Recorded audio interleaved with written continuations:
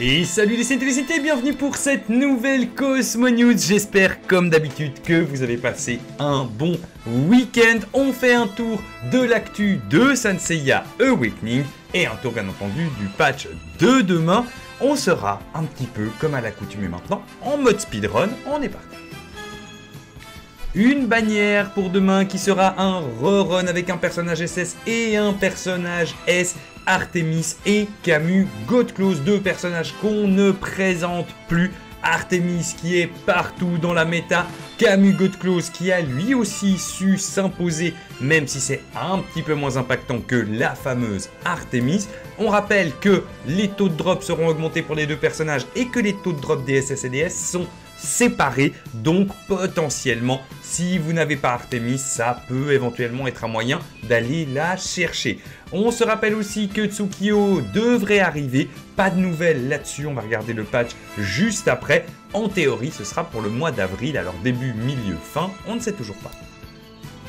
Et en parlant du patch, eh bien pas grand chose à se mettre sous la dent si ce n'est un nouveau bouquin d'omnipotence de lune pour des pièces de RC. On ne sait bien entendu pas encore quelles pièces seront dedans. Un event cash play recharge pour avoir des skill tomes d'Artemis et de Camus Godclose, du coup qui vont avec la bannière. Chaque jour, vous achetez un petit pack et à la fin, vous récupérez un ou des skill tomes. En général, c'est plutôt un skill tome.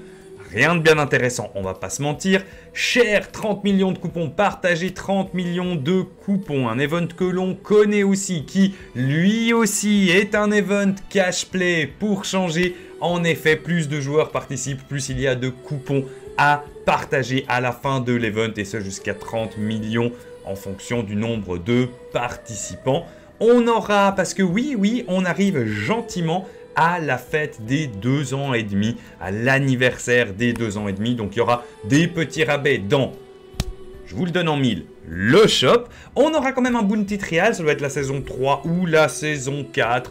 Rien de très intéressant non plus dans le sens en termes de, nouveautés ou de gameplay, mais des récompenses à aller chercher, ça c'est plutôt pas mal. Et bien sûr, le Lucky Cat, comme à chaque fois, le premier lundi de chaque mois et la semaine qui suit, c'est-à-dire du 4 avril ou 11 avril pour les joueurs peut-être qui nous rejoignent sur Sensei Awakening. Ce sera le moment d'utiliser vos gemmes pour augmenter vos stocks. On rappelle qu'il est nécessaire d'avoir 550 stocks 550 euh, gemmes en stock pardon, pour pouvoir faire tous les paliers des fois que des gens n'aient pas encore cette information. Si vous n'avez pas 550 gemmes, allez-y quand même, faites le maximum de paliers, c'est toujours des gemmes récupérées. Petit FAQ des développeurs avec deux questions. La première qui ne nous concerne pas vraiment, c'est quand est-ce qu'un nouveau serveur va ouvrir et ils répondent pour les serveurs américains qui semblent être moins sujets à la dépopulation que les serveurs européens. Nous, on a eu pas mal euh, de fusions hein, dernièrement. Et bien, en tout cas, ils vont réouvrir un nouveau serveur à 135 le 13 avril. De nouveau, ça ne nous concerne pas vraiment sur la version européenne. La deuxième question, un peu plus intéressante, en tout cas moi qui m'intéresse beaucoup plus, et oui, Persephone et Albafica font régulièrement cracher le jeu ou freeze le jeu sur différents supports, notamment les émulateurs. Ce qui n'est pas pour m'arranger, on ne va pas se mentir. Eh bien, ils avaient tenté de faire quelque chose au niveau de la maintenance du 23 mars, donc la maintenance de la semaine passée. A priori, ça n'a pas fonctionné puisque, comme ils nous le disent, ils continuent à recevoir des feedbacks de crash ou de freeze avec Alpafica et Persephone. Ils sont en train de collecter des données pour essayer de fixer ça le plus vite possible.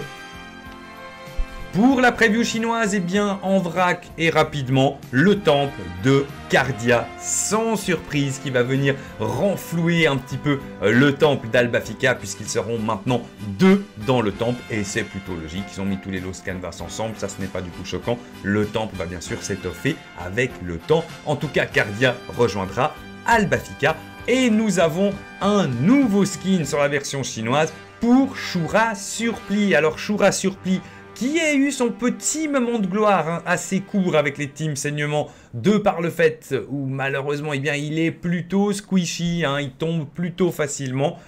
Je ne sais pas les stats qu'il y a sur ce skin, je ne pense pas qu'un skin suffira à vraiment ramener la team saignement. À voir avec potentiellement peut-être Cardia du Scorpion, on rappelle, qui est actuellement sur euh, la version chinoise. On attend de voir la sortie globale entre deux. Il y a quand même Tsukio qui doit arriver. Mais voilà, je vous affiche le petit skin. Merci Cyril pour le partage des euh, screens, pour le coup.